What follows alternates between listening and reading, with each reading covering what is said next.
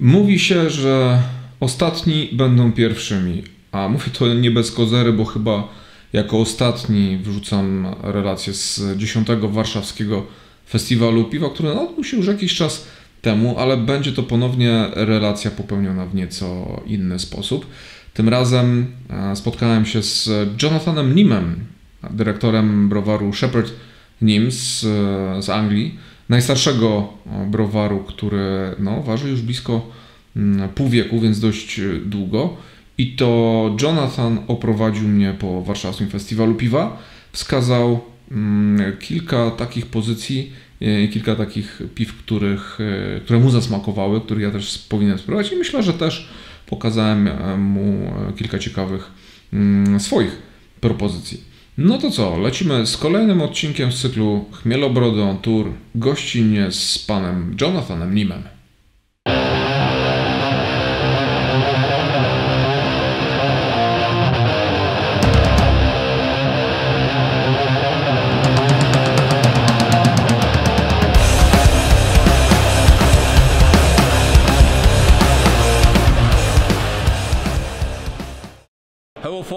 Cześć, jesteśmy tutaj z Jonathanem Nimem, dyrektorem browaru Shepherd Nim, będącym najstarszym brytyjskim browarem. Ważycie piwo już blisko pół tysiąclecia. Jak się z tym czujesz? Robimy to od bardzo długiego czasu. Nasza historia sięga roku 1573, a sam browar wywodzi się z opactwa Faversham, więc jesteśmy trochę jak browary klasztorne z Belgii. Ale to są bardzo dawne czasy. Macie bardzo długą historię, a Dodatkowo wasze piwo dotarło również do Polski. Ja osobiście znam markę Spitfire czy Bishop's Finger, kojarząc się z całkiem przyzwoitymi angielskimi ailami. Produkujemy klasyczne piwa angielskie i jesteśmy w Polsce już ponad 20 lat. Mamy tu świetnego partnera, firmę John King i sami obserwujemy spory wzrost zainteresowania w ciągu ostatnich lat. Obserwujemy też fantastyczne zmiany, jakie na rynku tutaj zachodzą. Wzrasta zainteresowanie piwem kraftowym czy piwnymi specjalnościami. Cieszymy się, że Shepherd Nim jest tego częścią. Eksportujecie swoje piwa do 35 krajów na całym świecie. Obecnie to w zasadzie do 42. Poważnie? Tak, te liczby szybko rosną. Więc jak porównasz tak duży browar jak wasz, bo ile moje kalkulacje są poprawne, to rocznie produkujecie 3,5 miliona hektolitrów piwa, Albo i więcej. Nie, nie, nie aż tak dużo. Jeśli chodzi o hektolitry, to miałem problem z brytyjską jednostką miary piwa, jaką jest angielska beczułka piwa. My też mamy ten problem. W każdym razie produkujemy poniżej 250 tysięcy hektolitrów rocznie, więc w UK jesteśmy znacznie więksi od browarów kraftowych, ale o wiele, wiele mniejsi od browarów koncernowych. Więc można Was porównać rozmiarem do browarów regionalnych. Dokładnie. Poza tym mamy 320 firmowych pubów. Właśnie miałem o to pytać. Jak to jest prowadzić browar tych rozmiarów i jeszcze taką liczbę knajp rozsianych po całej Anglii? Jest to wyczerpujące. I dodatkowo jesteście firmą rodzinną. Tak, i to też jest wyczerpujące, ale to jest część naszej tradycji. Nasz najstarszy pub zakupiliśmy w 1715 roku i on ciągle działa w Faversham. Jesteśmy właścicielami budynku, zaopatrujemy nasze puby w piwo i mamy bardzo dobre relacje z naszymi franczyzobiorcami. Pomagamy im się rozwijać. I to jest całkowicie brytyjskie i unikalne w dzisiejszych czasach. Nasze puby się rozwijają, browar także, a my dbamy również o stałą modernizację i pilnujemy tego, co robimy w tym samym regionie i w tych samych stylach piwnych i dodajemy nowe smaki i chmiele. Faktycznie, wasze portfolio stylów jest dość szerokie. Możecie różne odmiany IPA, bitterów, stoutów. A to wszystko w jednym browarze. To dość skomplikowane.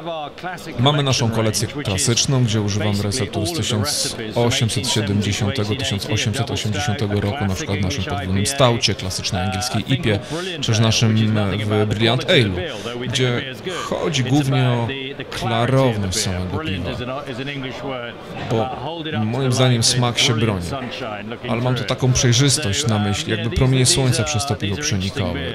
To są bardzo dobre piwa, a od nich możemy przejść do naszych piw nowofalowych spod marki Bear Island. Nasza rozlewnia mieściła się na Wyspie Rzecznej. Mi osobiście bardzo podoba się logo tej marki, tak. A na tej wyspie ktoś w XV wieku trzymał niedźwiedzia do tak zwanego szczucia niedźwiedzi, co było dziwną brytyjską rzeczą, której na szczęście już nie ma od 400 lat. Ale tak, trzymano tam niedźwiedzia, więc naszą markę nazwaliśmy Bear Island. I tymczasem dyrektor generalny tak dużego browaru Przylatuje tutaj, na warszawski festiwal piwa. Jak Ci się tutaj podoba? Jest po prostu znakomicie. Co roku staram się rozwijać nasz eksport poprzez nowe doświadczenia, a wszystkie innowacje pochodzą od ludzi zajmujących się craftem na całym świecie. Najpierw wybrałem się na London Beer Festival, który jest świetny ale tutaj widzę jeszcze mocniejsze przekraczanie granic smaków, dodatków niż ma to miejsce w Londynie.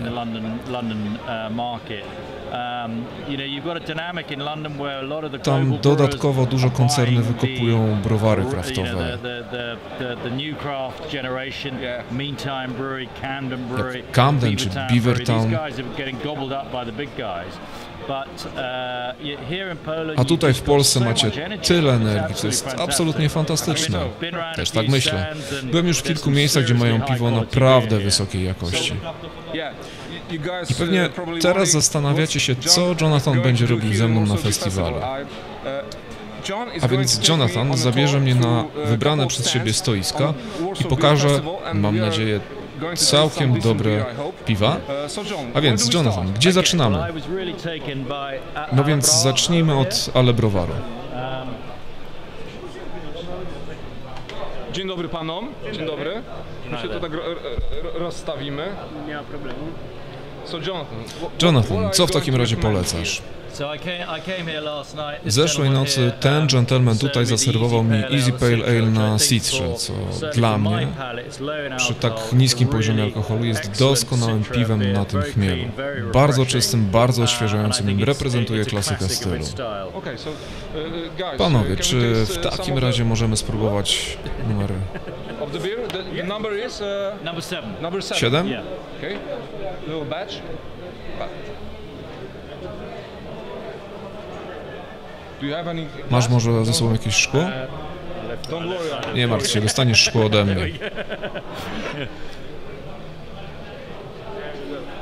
Thank. Oh, that's a. They pour me. The, It's low alcoholic, so it's yeah. There we go. okay, so this is Ale Browar. Przed wami Ale Browar. Cześć.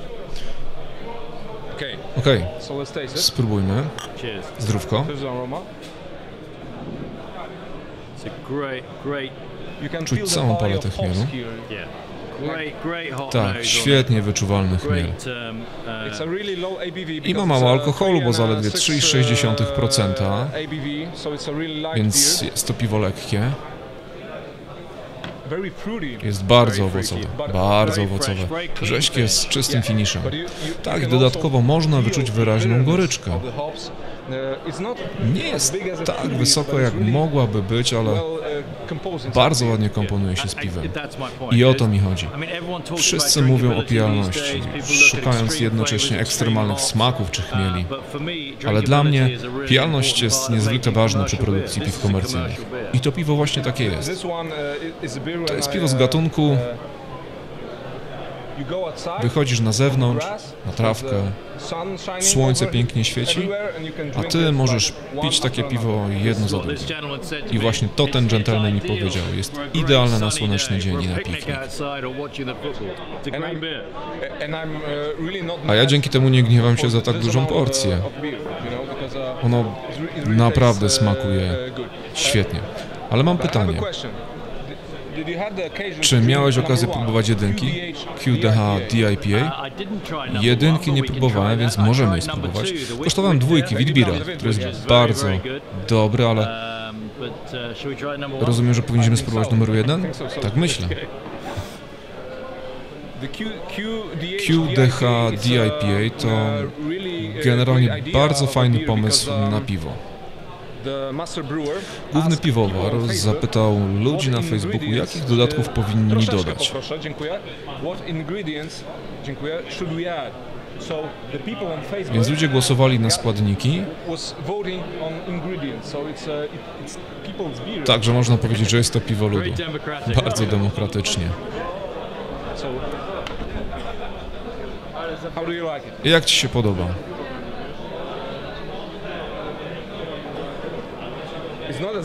Nie jest tak lekki jak Easy Pale Ale, bo masz 7% alkoholu.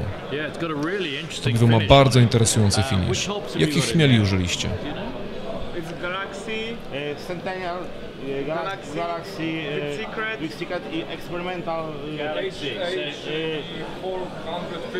co, yeah, something coś like takiego, coś takiego. A więc Galaxy dodał tutaj nuty marakuli. Yes. To chmiel z Tasmanii, prawda? Tak myślę.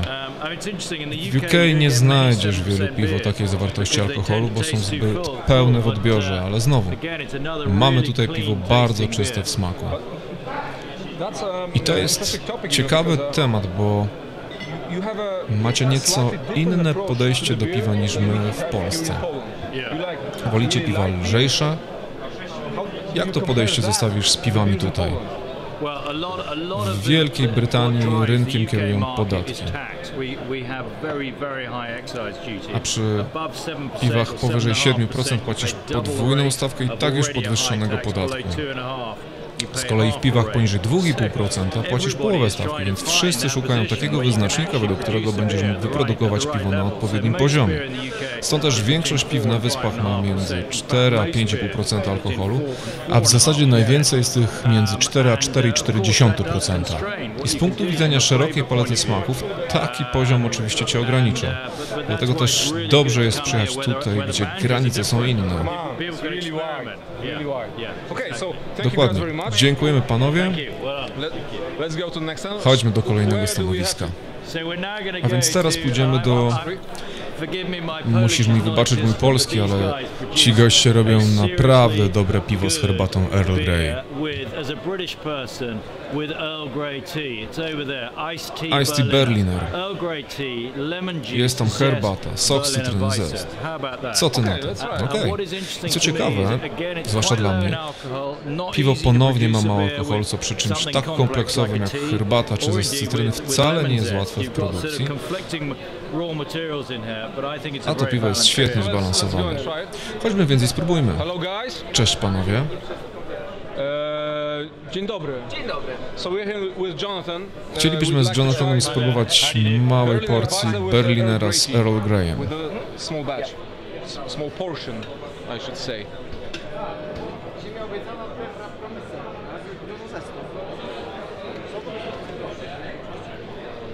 The, uh, Ciekawa rzecz, jeśli chodzi o piwne podziemie. Odłożę kamerę, bo robi się dość ciężka.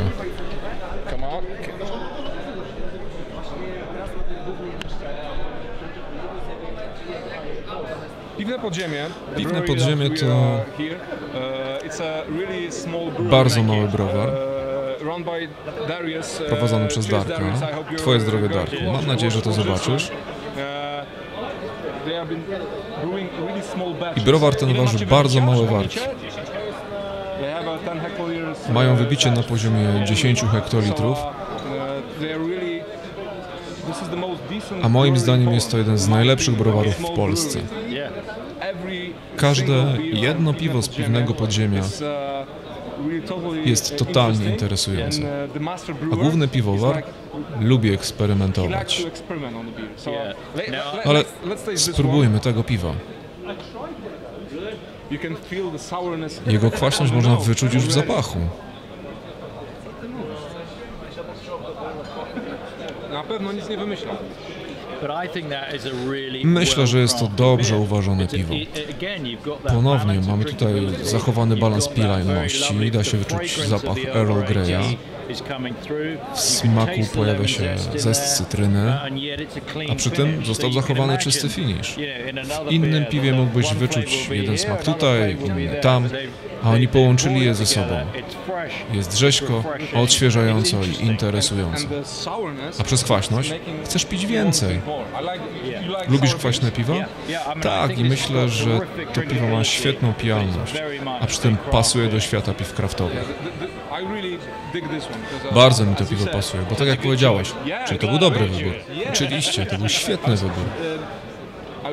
Przyznam, że zastanawiałem się, gdzie mnie zabierzesz. Jakie piwa mi zaproponujesz? Ale póki co wszystkie były idealne. Czyli idziemy na przygodę.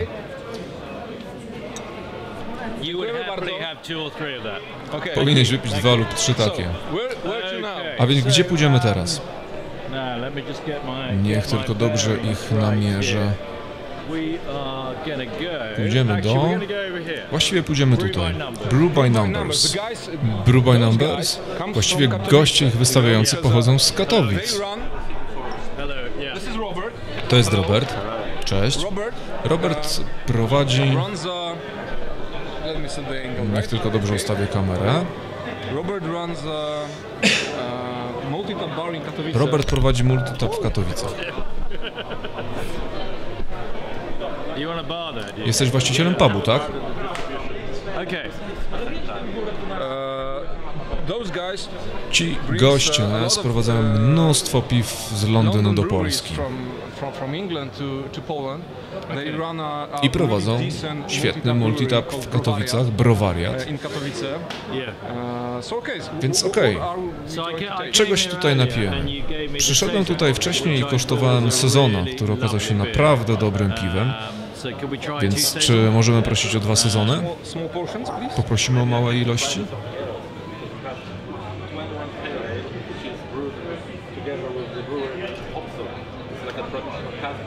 Yeah. They gave the yeast for the guys from Brewer Numbers. They heavily hop it, and the effect is astonishing. No? Okay. Yes, let me just. Well, we'll try. Let's go for that. We'll the w takim razie skosztujemy tej rekomendacji. But uh, Ale the i tak będę polecał tym, którzy go nie próbowali. beer. Brew by Numbers is one of my Brew by favorite, Numbers to jeden z uh, moich ulubionych brytyjskich browarów. Ważą naprawdę świetne piwa. Those uh, I te puszki.